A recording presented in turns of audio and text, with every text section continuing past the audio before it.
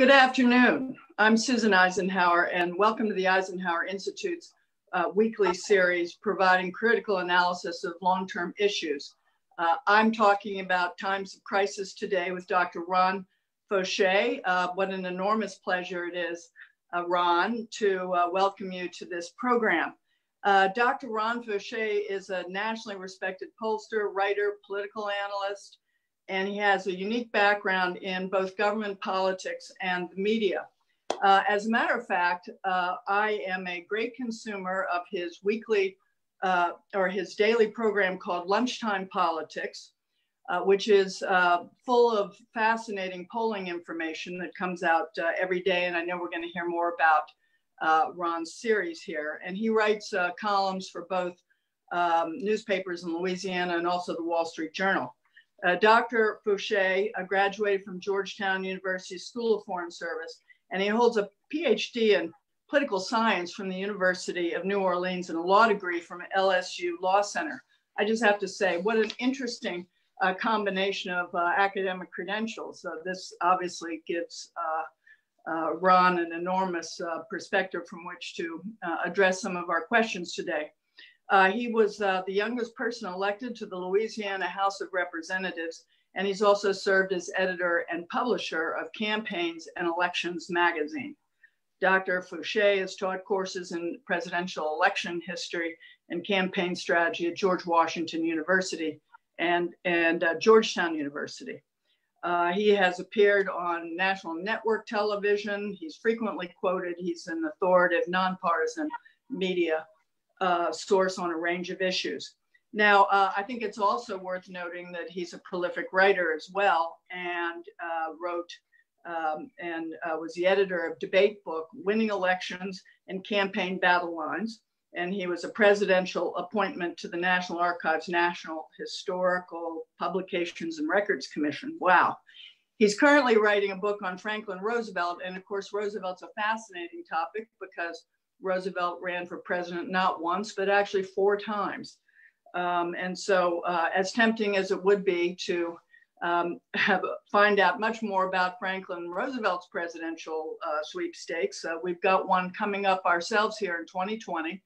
And consistent with our idea that we are uh, living in times of crisis, um, I'd like to ask you, Ron, to maybe um, help us understand how this presidential campaign fits into uh, the the time of crisis we're in right now. It, it seems normally uh, the presidents tend to win a second term when they're confronted with a national crisis of some kind.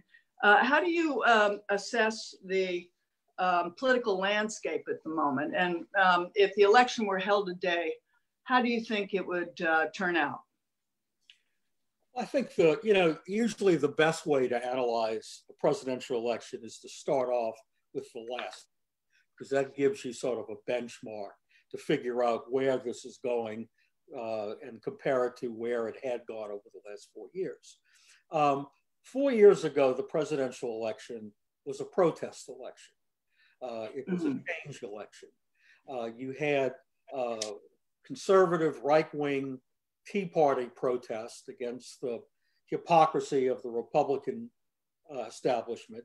You had left wing liberal uh, protest against the corporatist Democratic establishment. And you had sort of middle of the road, independent minded voter protest against the way government wasn't working and political paralysis and political correctness and, uh, and the hyper partisanship that had had taken over politics. So, so you had three big protests going on, and Donald Trump was able to harness uh, one of them, and ultimately the big part of the second one. So, so he was able to win really as a protest candidate. It's hmm. very rare that a protest candidate gets elected to public office, but Trump did it. Uh, when you look at the exit polling, you find, for example, that in the key swing states, over 80% of the voters in states like Michigan and Pennsylvania and Wisconsin uh, said that when they voted for president, change was more important than experience of good judgment, which is something that you would normally not see. But, uh, So the 2016 election was really, it was a protest election. In Trump, better than anybody, uh, any of the candidates, Democratic or Republican, harnessed that. Now, the 2020 election is actually now very different. It's not a protest election. It's not even a change election. What it is is it's a it's a referendum on Donald right. Trump, pure and simple. I hate to inform Joe Biden of this, but um, but in, in some ways he's almost more of a bystander than a participant. Uh, because ultimately voters will be looking at Trump and voting for Trump or against Trump. Now, if Biden makes big mistakes and he picks a bad vice presidential candidate and uh, and and and you know doesn't come off well, then obviously then his negatives start becoming a factor. But at this stage of the game, excuse me, I have a a, uh, a puppy here who uh, has decided that the uh, male person uh, is here. But anyway, the um, so so it's a very different election than it was last time. Uh, now, last time the election was really very close. Uh, yeah. Ultimately, came down to three states. you know, again, Michigan, Wisconsin, and Pennsylvania. And Trump won all those states by less than a percent. He won Florida by a little over a percent. So even though he, he had some room to spare in electoral votes, it was really a very, very close election. And of course, he lost the popular vote by 2%. So going into this election, uh, you know, the, there's a few things to keep in mind. First of all, the question is, uh, and, and the thing to remember is Trump has held his base very well. And we all mm-hmm. talk about this. Susan and I have talked about this recently, that um, uh, almost no matter what President Trump does, good or bad or indifferent, uh, his, his base holds up with almost no change at all. Now, so that's, that's a plus for him because it, it keeps him in political contention, but it's also a minus for him because he isn't growing the base, he isn't mm. expanding. And um, so he got 46% of the vote last time. Hillary Clinton got 48%. He was able to win the Electoral College with 46% because he was able to carry, you know, those three or four critical swing states by tiny margins and not flip those electoral votes one way or another. And we've seen it before. President Bush won against Al Gore with less popular votes and so forth. Uh, so the question is, you know, if he only gets 46%, how wide can that gap go before he starts losing the electoral college? And the answer is really, uh, if the gap gets more than about 3%, it, it may be 4% at the very most. Uh, then he can no longer survive the, the popular vote deficit. Now, the big question in this election is uh, how many people vote for somebody other than Trump and Biden? You see, in the last election, you had 6% of the electorate that voted for third candidates. And some of those people had they, some of those voters would have voted for the Democrat or the Republican had their alternative not been there. So the question is, if, if it's just Biden and Trump, and there's only a few, maybe one or 2% who are voting for the third candidates, what happens to that other 4%? Because the other 4% was the ultimate protest votes. Because they were voting, they were protesting not only the system and the politics, but they were protesting the protest candidates, you see. So the question now is where does that vote go? Which makes this election a very close race.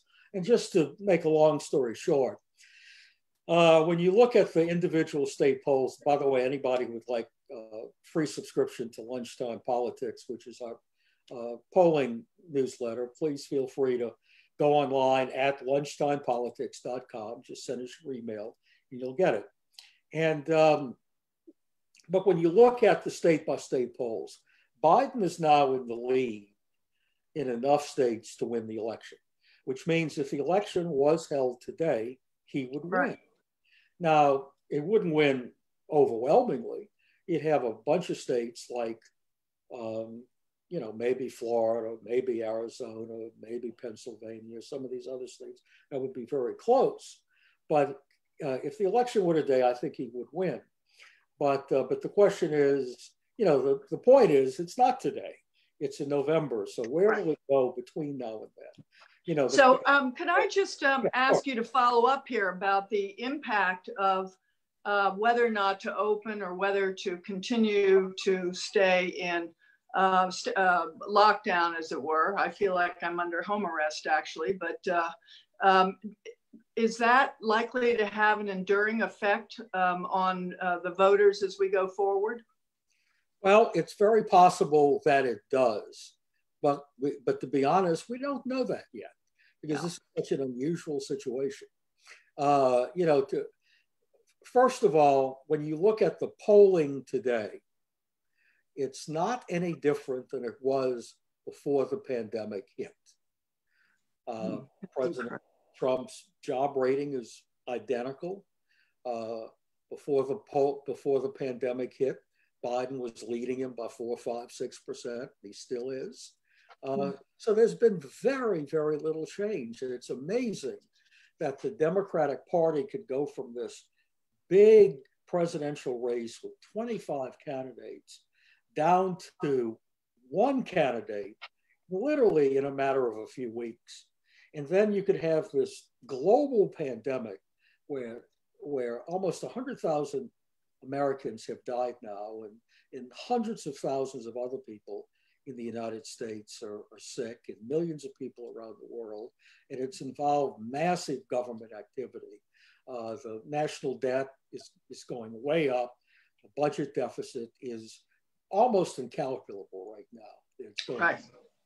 So, so these are big, big things. Uh, they're, they're, you know, they're the stuff of the kinds of crises that that presidents uh, going into war or during war or the Great Depression have dealt with, and uh, and amazingly, amazingly, uh, it, and, I, and I'm speaking here as a neutral observer, uh, and, and I'm not advocating for any of the sides. I'm actually an independent, so I'm, I'm an equal opportunity uh, critic. Me, me too. uh, but, but essentially, it's amazing all of this has happened, and the basic politics really hasn't moved. Now, I think, and a lot of people think, there is a possibility that in a few months from now, voters will look back and they'll say, aha, this is the lesson from this past and move one way or another. One of the things I've, I've sort of developed over time is what I call the kaleidoscope theory of presidential elections. That, uh, like a kaleidoscope, you know, you turn it and it looks entirely different. But the voters, the, the pundits and the media analysts and people like us, we're turning it every day, looking at, well, what if it looks like this? What if it looks like that? The voters aren't doing that they every now and then they pick up the kaleidoscope and they give it a turn. And we saw that happen uh, in the first week of March when Democrats were confronted with the possibility of Bernie Sanders being their nominee. And they said, wait a minute, this is scary. So they turned the kaleidoscope mm-hmm. and all of a sudden it had Joe Biden's picture on it. And they said, well, that's the safe way to go if we want to beat Trump. And, uh, and arguably, the kaleidoscope hasn't turned since then. And, uh, but at some point, I think most people think it will turn because people will look back and say, you know, number one, did President Trump handle this crisis properly? Number two, even if he didn't, would Joe Biden handle it better? Or could he have handled it better? Right. You know, and number three, where do we go from here? You know, th- this coronavirus crisis in terms of budget deficits, national debt, uh, unemployment, business, small business, education, infrastructure, all of these things have has had a big effect. And, and so the question is, is it a temporary effect where things sort of get back going, but they call sort of the big V effect. Things are up right. here, good out here, but then they go back to where they were. Or if it's a very slow coming back and and we and nobody knows that yet. You know this isn't so ron i'd like to just um actually you're you're on exactly one of the uh, follow-up questions i wanted to ask you because um, i think we haven't actually uh, you're right we haven't seen the um, the impacts yet of some of the policies we've adopted, but it seems like one of the trickiest things, and I don't really understand why the Republicans are holding out for not providing relief to states uh, that are on the verge of going bankrupt. It seems to me that this is where uh, voters are really going to feel an impact in a very significant way because um, actually the state and local governments are now responsible for so much of this uh, uh, crisis response. Do you have any thoughts about that? We're lucky to have uh, somebody who's not in Washington, D.C. to uh, offer a thought on that particular point. Well, you know, that has now become a partisan issue, which is a shame. Yeah. Uh, and so it's now looked at as Democratic, you know, blue states versus Republican red states. But but I think what's happened, I, I mean, I think both sides have screwed this up as usual, in my opinion. Uh, on the one hand, if the, the $3 trillion uh, program that includes help for state and local governments that the Democratic House passed the other day, uh, if that was all they had passed and all they had done, I think they would have a strong issue because they could make the claim that, you know, that, like you were just talking about, uh, you know, that if this isn't done, there's going to be massive tax increases and economic problems for state and local governments and law enforcement problems, infrastructure problems, everything. Right. And uh, but instead, they filled the bill up with a lot of other programs that really have uh-huh. nothing to do with the coronavirus. It's become a grab bag. So now the Republicans have things they can attack in that bill that has nothing to do with the, with the core of what the bill was supposed to be about. Mm-hmm. So, so that's what they call a message bill. They knew that bill couldn't pass the, the Republican controlled Senate. So they said, we're going to just load up everything we want and go tell voters around the country, well, we were for all this and the Republicans were against it. And then on the other side of the coin, now that gives the Republicans an excuse not to do what they should be doing right. in terms of trying to help state and local government uh, get through this thing. So, so, so this thing here is a perfect example of why Washington doesn't work. That both sides go too far, they reach too far. They're only worried about politics and the next election, and less so about the next generation. Now they won't tell you that, but I just did because I believe it's true. and uh, and so so so that's where we go. But but local governments now, you know, in fairness, the last uh, recovery bill, the two trillion dollar bill, did have significant money for state and local governments. The problem is is that it had some strings attached that it probably mm-hmm. shouldn't have had, uh, because a lot of local governments and state governments right now are trying to figure out, well, how can they justify this for coronavirus relief when that's not our problem. Our problem is that our sales tax revenues are down, and um, in our in our income tax revenues are down. So so th- they basically need general fund money to get them through this hole. And unfortunately, Congress is talking about everything but that right now. And hopefully, at some point, they will get together, maybe have some compromise legislation and get it through. But uh, as it stands now, we're you know we're in the middle of another political war that uh, that is paralyzing action. Well, it's um, it's it's actually rather frightening. I mean, I'm not even going to say rather frightening. I know how the British use the word rather. It means like uh, not so much. No, this is this is frightening. A lot of people are worried about the state of our uh, democracy, that we have a non-functioning Washington that's insensitive to uh, the direct problems of uh, people who um, live close to our communities. So um, there's a lot of anxiety I'm hearing here in Washington about uh, the election itself. Uh, right. And uh, now doctors are predicting that we're going to have a second wave of the coronavirus sometime this fall. Um, we've got a United States Postal Service that is not uh, being supported by the Republicans uh, and a president who says that he thinks um, uh, mail-in ballots are illegitimate. Um, where does that basket of issues take us as we get closer to November? Uh, you know, again, it's hard to say. Uh, you know, the election process in this state is run by the, uh, in this country is run by the states. You know, we really don't have a national election system. Uh, it's a state system where the states get together and they figure out what they want to do.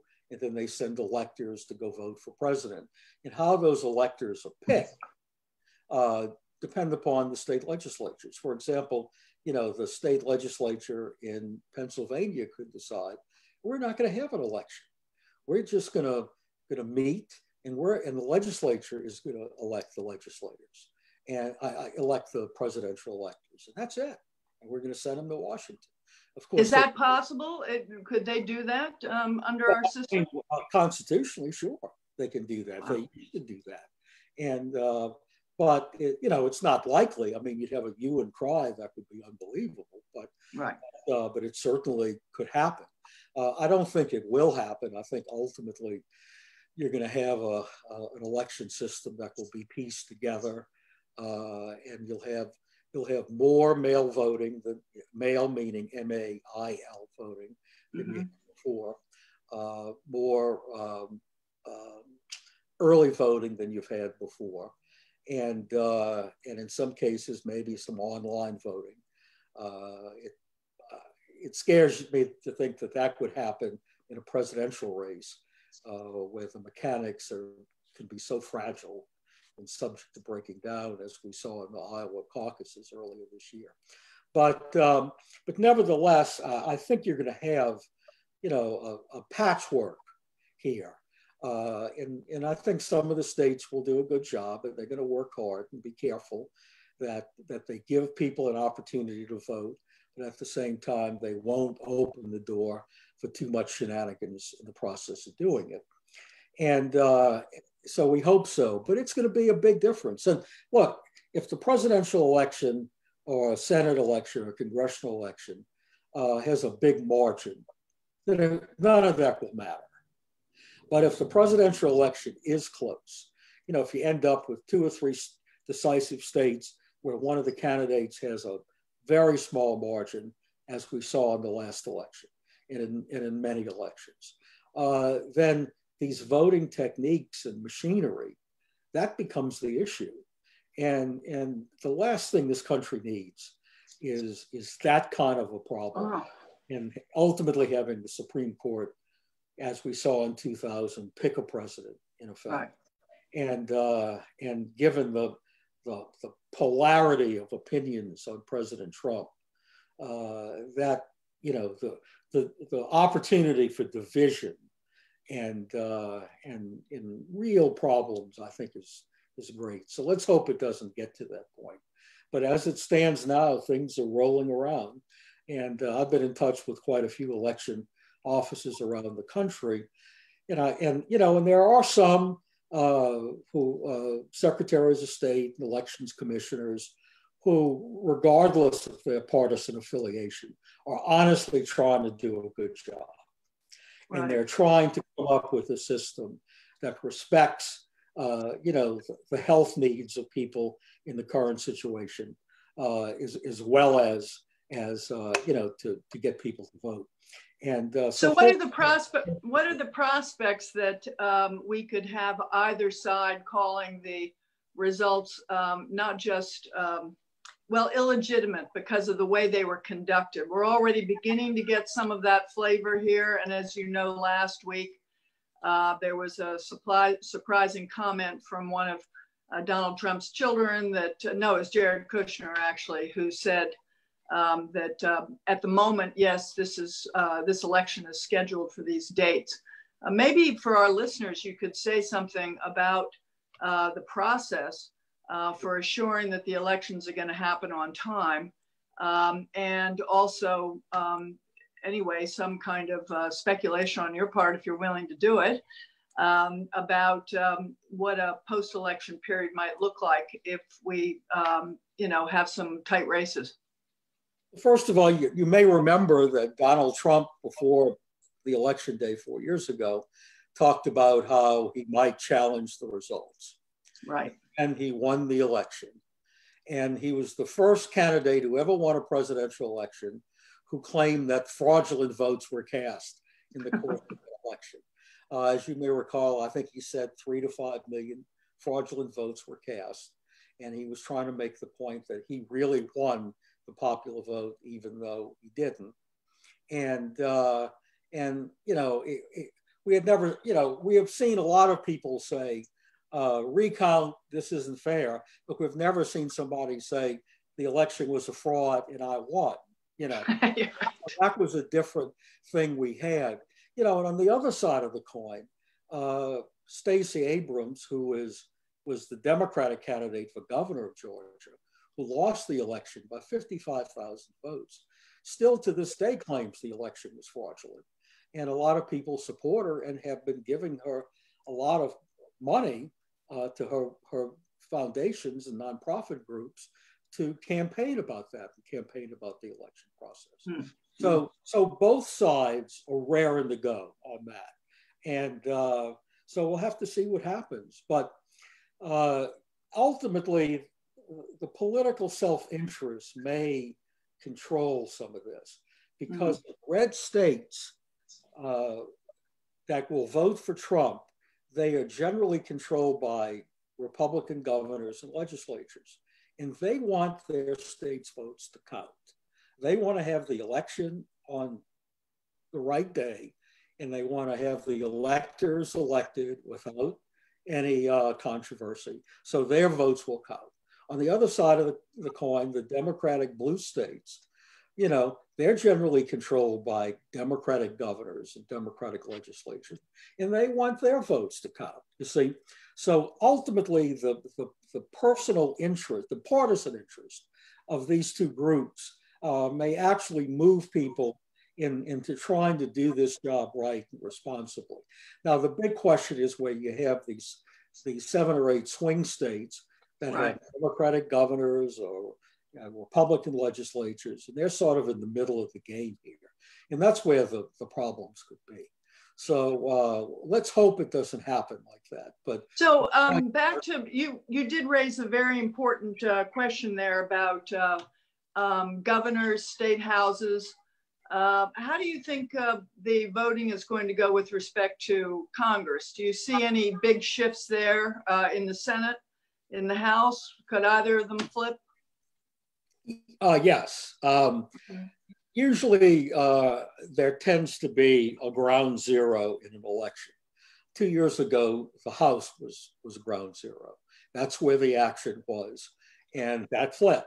That flipped from Republican to Democratic. I think ground zero in this election will be the Senate, not the House. I'm inclined to think the Democrats hold on to the House. And uh, unless something catastrophic happens, and of course something catastrophic is happening and it's not making it much so who knows? But um, but right now the republicans have a, a three seat majority. And um, and they have more than three seats that are at risk. They probably have five or six states right now with senate seats that are at risk. So um, uh, i think there is at least a pretty good chance that the Republicans will lose the Senate. It's it's hard to predict these Senate races in advance because they usually get down to you've got four or five really close ones that can go either way. But uh, if you wanted to, to bet on a on a, a bet, make an early bet right now, and had the odds, I would vote that that the Republicans may lose the Senate, even if Trump wins the presidential election, because you wow. may find that some of these swing voters or as I call them, cross-pressured voters, uh, may may have a problem with Trump on some things. They don't necessarily want to go to the Democratic side either, because they feel that the Democratic side has gone too far to the left. So they may say, "Well, we'll vote for Biden and the Republican senator." So, uh, so, so those kind of things can happen, but the but the Republicans have more weak incumbents right now than, than the Democrats do in the Senate. In terms of the House, uh, you know, you might have some changes, but the Democrats, I think, may have enough seats where even if the wind is blowing against them some, they may be able to survive. Yeah. So we're, um, this is, I'm afraid, our last question. This is absolutely fascinating, Ron. Thank you so much for being with us. I'd, I'd like to just step back and sort of look at the 30,000 foot picture here. Um, and, and I was wondering if you could just, you know, as our sort of final comment here, say something about the cultural change you've observed in this country for all the years you've been writing these important books about the electoral process and also, uh, are there likely to be um, any um, significant changes after this election? For instance, pressure to eliminate the electoral college or something rather fundamental and structural. But uh, I'd love your thoughts as we sort of pull away from this very specific discussion and, and help us frame how we might be looking at this election as we go into it in November. Well, you know, in terms of the big picture, I think one of the most interesting things that's been happening in recent years is that the country is becoming increasingly polarized, but more importantly, increasingly politicized. Uh, we ran a poll in the newsletter, I don't know, some months ago that showed that a significant portion of voters say they depend on their personal happiness based on the political activities. We've got people now, particularly young people who are dating, uh, who say they wouldn't date a, a pro-Trump or Trump uh, boyfriend or girlfriend. And so it so politics is sort of taking over the culture, and it's because of technology, the internet, cable TV, social media, and it's also because of Donald Trump. Whether you love him or hate him, most people find him interesting and he is sort of fascinating the whole process and dominating the whole process. So the political culture has become much more, much more uh, uh, uh, politicized. The, the whole culture of the country has become more politicized. And, and you know, the, the, the big issues of how long can we go with a political process that is rapidly losing public credibility is a big question. I think the, the political process in this country uh, has lost a lot of legitimacy. And I think it's going to keep losing a lot of legitimacy because too many people don't think it's on the level. And too many people are right about that because, uh, because the, the, the, the, public interest is often uh, subordinated to partisan political interests. And, uh, and that really has to stop regardless of where you are in the political spectrum. Right. Well, I couldn't agree with you more. I have to say, uh, Ron, I want to thank you um, personally and on behalf of uh, the students uh, and the community of Gettysburg College and, and the larger world out there that tunes in uh, for EI Live uh, once a week. Thank you so much for being with us. All the best. Bye-bye.